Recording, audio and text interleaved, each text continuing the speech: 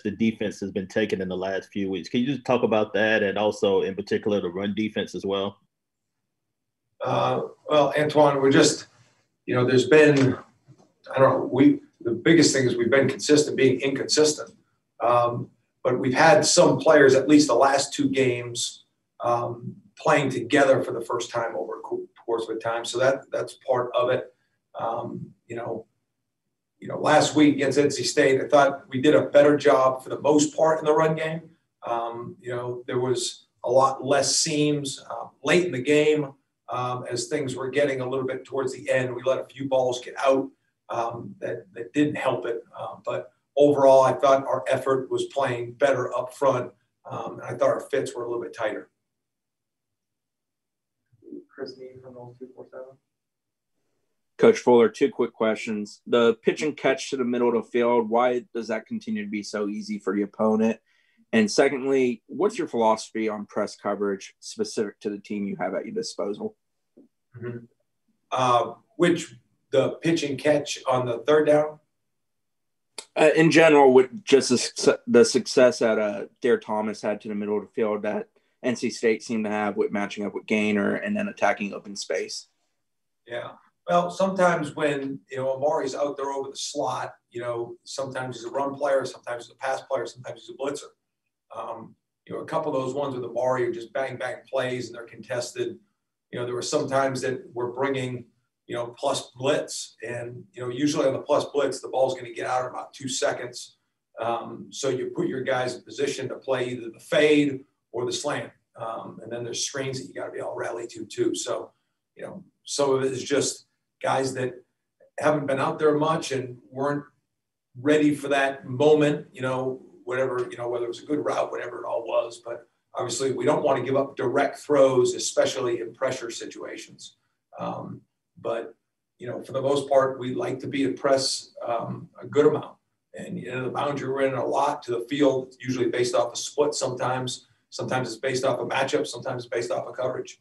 Um, so, you know, depends on what DBs you get out there and how it's all playing. But yeah, I mean, the more challenge we can make, the better we're gonna we're gonna feel. We just got to be more consistent with when we're in that position um, to be confident enough to play the technique that is supposed to be being played.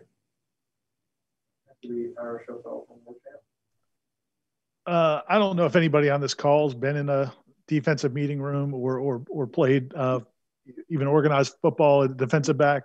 Um, could you just help us in terms of like when a when a play is called, and, so the safety is his responsibility based totally like okay, this is the play call, and so I should need I need to do this, or is it more based on what he's seeing and reacting, and how much of that is based on his experience level? And um, does that make sense? What I'm asking, like, like uh, I, I think we understand like in an offensive play, like okay, this is the route I'm supposed to run, or this is the but on defense, since what they're doing in some cases is reacting, and what I'm spe- speaking specifically about is, so on, on, a play where it's maybe it's third and goal or third and long, and and if there's a blitz, but as observers we see the safety not come up, and it and the and they are able to complete a pass.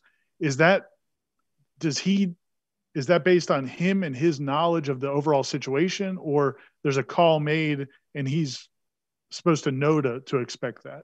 Does that make sense? Yeah, that the second half makes it a little bit more sense, Ira.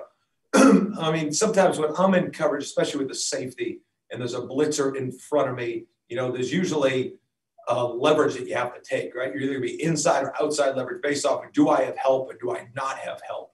Um, you know, usually offensive players, and then your leverage is usually based off of the call and then the split of the receiver. You know, the um, and you want to play with proper leverage just so you understand what you can initially take away, knowing that when I'm in a leverage, you know, if my skill and that skill the receiver is equal, like I need to take a leverage to know what to take away. And if they're going to run away from that leverage, then that's the one that you just got to tackle if it's a great throw and catch. Um, now, if you're a wide receiver, usually if you want to run an inside breaking route, somebody takes inside leverage, you're going to try to push and get them off your leverage, whether that's your speed, whether it's you trying to stick them and get them off of the spot.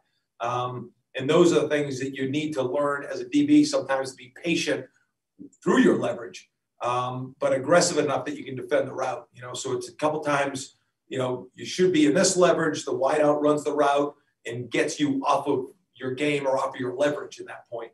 Um, and that's not something that we want to happen. Um, you know, and sometimes, you know, listen, we're putting some guys, you know, especially at safety, some guys in positions that maybe they were doing the other thing for the first six months, and now they're doing this thing, whatever that all is. So, you know, we're just trying to, in a perfect world, you're repping the things that are going to happen in the game constantly, and you're learning from your mistakes in practice. Sometimes you see guys get moved around, and you got to put other guys in there. Um, and now the reps are happening; they've taken them, but they haven't taken them maybe at that spot. And you know, you hate to learn through game experience sometimes with some of those bang bang plays. Um, but sometimes that happens. You know, and you want to learn when the mistake gets made in practice, not when it gets made in the game. Um, but if that answers your question, just you're always going to have a leverage, um, and you got to trust the leverage in order to make the play within that leverage. First, thanks for indulging me on that. Um, uh, on the uh, clarifying the question on the the uh, the defensive front, it seems like Josh and, and Janarius have had some more frequent bright spots. And, and you know, I know, and uh, Josh hasn't come through with the sacks, but it seems like he's affecting the quarterback more. How close is he uh, to to being the guy that you guys expect him to be? Uh, he's getting there. You know, um, I think he'll even admit there's still things that happen to him that you know he wants his re- we we and he wants his reaction time to pick up. Um, but as far as just when you have this and it doesn't matter what happens, you go do this. He usually he plays a good pad level, plays fast. I mean, I love everything about Josh. You know, I think at this point, you know, everybody's banged up. He's playing through all those things, but first time in his career, he's got to play through some games now. Um, so I think that's helped his development. You know, there were a number of times last week that you know we've got pressure and we, we're just not finishing the play back there, or the ball's out before you get there. You know, so you know sometimes it's hard. You know, I've had defensive ends come to me and they're frustrated about their statistics because they got hurries and not sacks. And then next thing you know, you look up three games later, they got six. You know, so hopefully that happens for him. Um, and you know, I, I, am happy with his development, the way he's going about his business. You know, J. Rob's been more consistent in the run game. I think he's always been a very good pass rusher. Um, the numbers aren't always there, but he did affect the quarterback. I know he had the one sack early, um, but you know, I think J. Rob's consistency, especially just staying at the one spot, has helped him. Um, it's still an everyday challenge, you know, in the run game to continue to play with the proper pad level for him. But he he's he's welcoming to be coached. Um, both myself, Coach JP, and Coach Haggins, you know. So I think they've both taken steps this year uh, for different reasons, but I do like their development. I do like the way they're playing right now. Next will be uh, Award. Coach Norvell said that uh, Akeem Dent, uh, I guess, is uh, trending well. He was a game time decision. I guess same thing with Renardo. What, what sort of flexibility do you have if, if Akeem returns? Is he one of those guys that can line up in the slot maybe and, and not leave Amari out there in some minutes, maybe not, you know, in his wheelhouse? Yeah, I mean, in a perfect world, you, you have more than two corners ready to play so that you can put some more in there. Um, you know, but obviously, I mean, that happens during the course you. You get nicked up, you got to put other guys out there. Um, so we'll see where Akeem, Akeem is here as we progress through the week. Uh, it'd be great to get him back, um, and we got to see how that works. Coach, you said a few weeks ago that this season is a book. And so now I'm not going to get as abstract as Ira because I don't have as big of a brain, but what chapter do you think we are this season? Like, where do you think this narrative is going? And just overall, where do you see that metaphor right now? Yeah, well, when I meant that, I meant just each week is a chapter, and you're trying to, you know, build off it as it comes. You know, we've had a lot of characters in this book. You know, we've had a lot of people involved in it, um, and you know, I think as a coach and as the defense coordinator here at Florida State, you're trying to make sure that every moment um, is an improvement or a learning moment. Um, and you know we've had more pain than success right now, but we're trying to make sure we don't lose. First of all, grateful for the opportunity. You know what I mean, and make sure the players understand that. Listen, I know the record isn't where we want it, but like unbelievably grateful for the opportunity to coach you guys and to do this together. You know, but we're trying to get more consistent results, and we're just trying to make sure that whether it's in defense, whether it's third down, whether it's a man coverage technique, whether it's a leverage on the passer, whether it's coming up on a scramble, you're just trying to put together these lessons to make sure that we don't repeat these mistakes. Um, so, I mean, when I meant that, it was just each week is a different chapter, and you're just trying to make sure that you're developing the story as it goes on in a, in a way that you're able to learn through it. Um, and some of that learning's been, you know, playing multiple positions. Some of it's been playing multiple combination of people. Um, so we're just, I mean, it's constant and we're still working through it. I'm doing the best we can to make sure that we grow from it. Like Ira? Uh, two two questions. So Derek doesn't have to say my name again. One is um, Josh Griffin.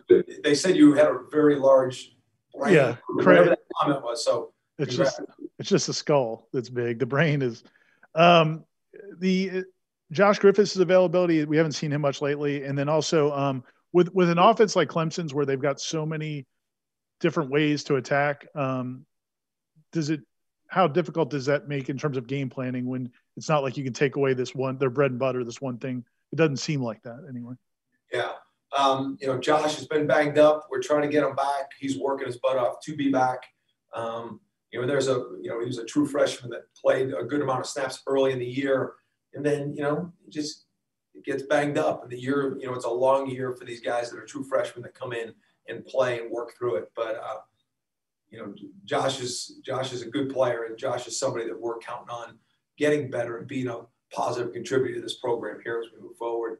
Um, you know, one thing about Clemson, you know, they're good at a lot of things because they got good players at every level.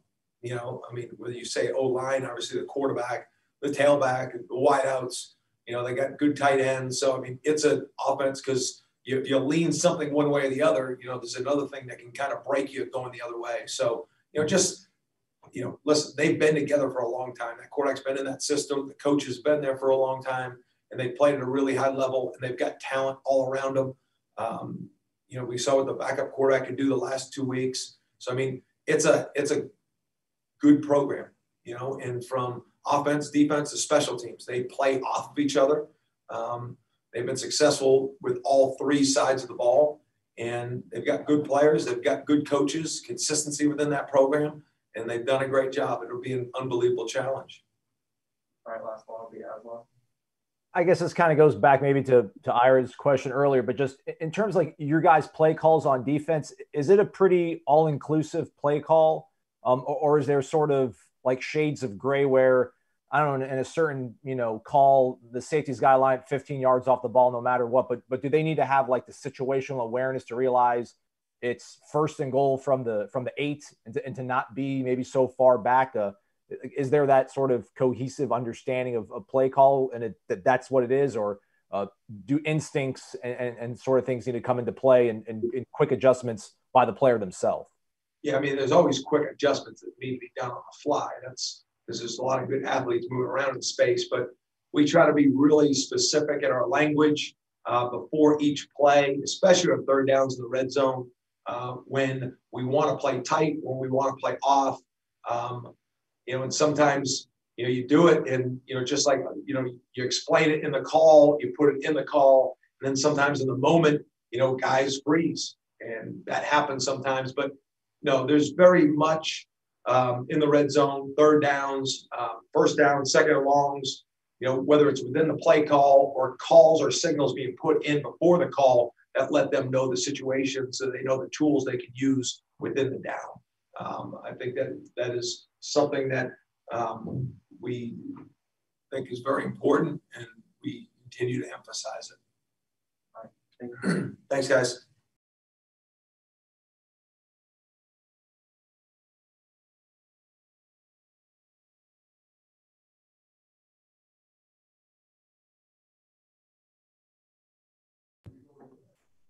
All right, next up will be Sydney Williams.